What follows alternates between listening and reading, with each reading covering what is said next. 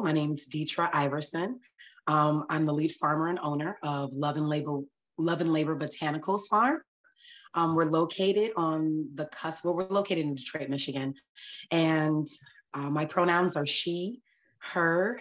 I've always had my hands in the dirt in one way or another.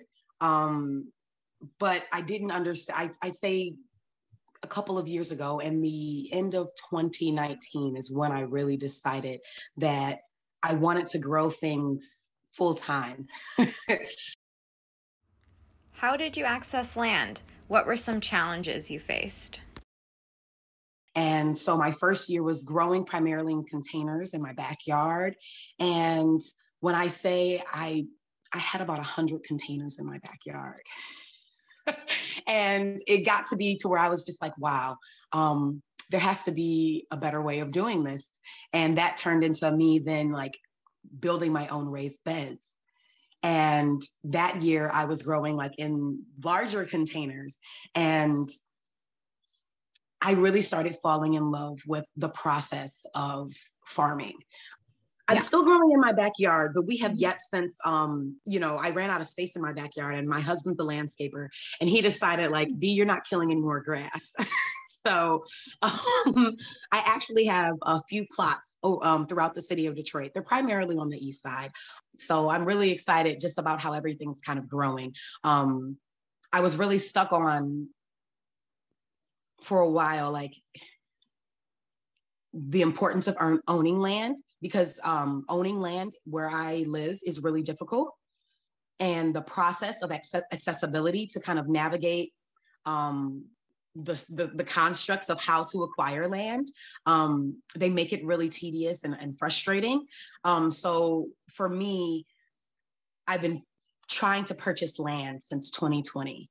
And um, I'm just now, like, you know what I mean? Like, kind of finishing up that process. Like, we still haven't finished the closing papers, but we've signed a purchase agreement and everything is kind of like, you know, it's a process. I knew I wanted to stay on the east side. So um, I looked, I brought up a parcel viewer. Um, you can find those easily on Google. Some are better than others because some are updated a little bit better than others. But I just went on there and um, I was looking for large plots of land, like multiple parcels of land that were together. And after looking at them online and writing down um, addresses and uh, you know how big the parcels were i then decided to go and take a look at the parcels because a lot of the times the pictures that they have online and on google maps aren't current to what the space actually looks like.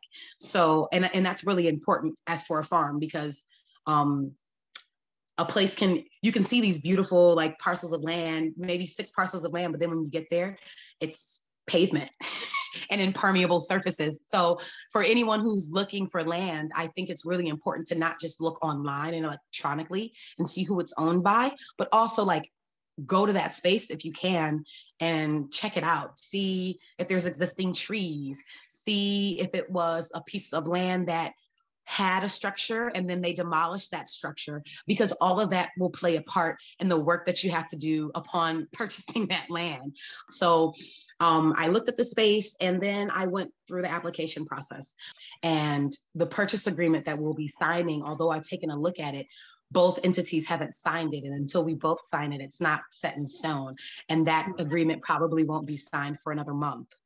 So ultimately, we won't be probably closing on our land until the summertime because nine times out of 10, while you're applying for land, you probably won't within that same season be able to farm on that land. What advice do you have for other farmers looking to purchase land? Being able to not only navigate the jargon that they use, but then making sure that you do a title search. You know what I mean? Like because they're giving out deeds for these for these places, but they're not warranty deeds. And again, this goes back to jargon because if if you don't know, a quit claim deed is different than a warranty deed.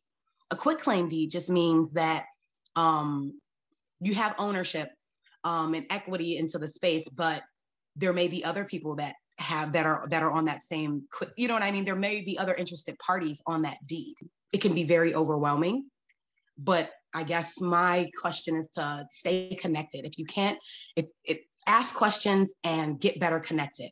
Um, and if being connected being connected doesn't just mean um, putting your ear to the ground and listening to what's going on, but reaching out to organizations that if they, if they don't own land, you know, reaching out to organizations whose mission is to help people navigate these processes.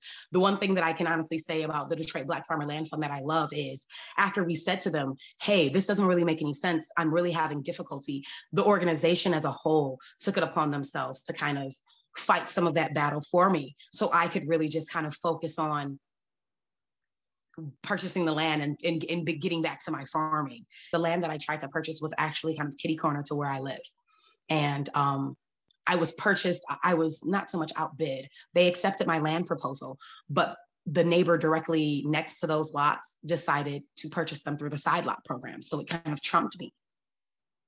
So that was my first land process. My second land process was I applied for another group of lots that were not too far from my home and they were grouped together. And I went through the process and um, I found out that I was outbid by another organization that wanted to use those spaces for um, books and learning or guess I guess some type of garden education. So again, like if I had decided after the first and second run, like I'm not doing this anymore, you know, I wouldn't be where I am now. So um yeah, taking the time to research and really know what you want and be in communication